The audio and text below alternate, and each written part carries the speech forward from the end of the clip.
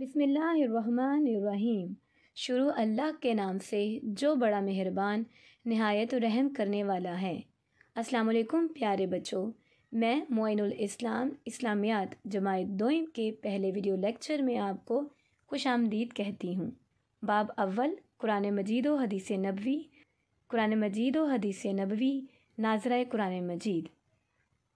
हासिलात ताल्लुम इस सबक की तकमील पर तलबा इस काबिल हो जाएँगे कि कुरान मजीद के पहले और दूसरे पारे की तजवीद के साथ तिलावत कर सकेंगे और दुरान तलावत, मुखारज और रमूज़ अवकाफ़ का ख्याल रख सकेंगे। ख़ास अल्फाज, तजवीद, मुखारज, रमूज़ अवकाफ़ प्यारे बच्चों, अब इन अल्फाज की आप मेरे साथ दोहराई करेंगे। अलिफ, लाम